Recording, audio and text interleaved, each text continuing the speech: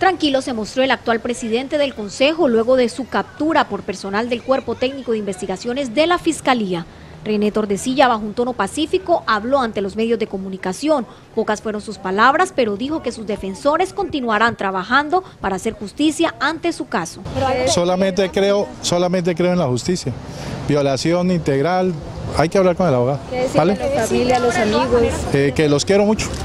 Y a los amigos también los quiero mucho. No, no, nada, ningún comentario. Esperar que la justicia se pronuncie sobre eso. Vamos a esperar. El abogado defensor del presidente del Consejo manifiesta que aún no hay claridad jurídica sobre la medida de aseguramiento que aducen se encuentra en trámite. Sin embargo, hoy deja privado de la libertad a René Tordesilla por un tiempo de 10 años y 10 meses. Esa es la pregunta que se hace la defensa y, y todos los del ambiente jurídico. Porque si el, si el proceso está en el tribunal, la primera instancia pierde competencia. Entonces, esos son los argumentos que estamos estudiando para eh, hacer uso de los mecanismos o los instrumentos que nos da la ley.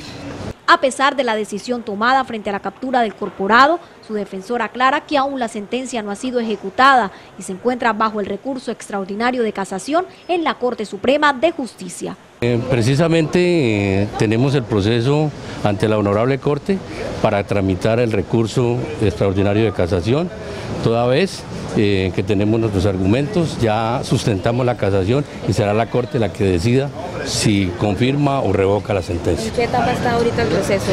el proceso en este momentico se encuentra surtiendo el trámite de la casación, ¿sí? es decir, está en el tribunal y estando en el tribunal, la competencia es del tribunal y no del juzgado. ¿Cómo va a quedar con ahora? Eh, no sabemos porque eso ya corresponde a, a las autoridades decidir a qué establecimiento carcelario lo envía. Según lo conocido por Enlace Noticias, René Tordesilla fue trasladado hacia la cárcel en la ciudad de Bucaramanga.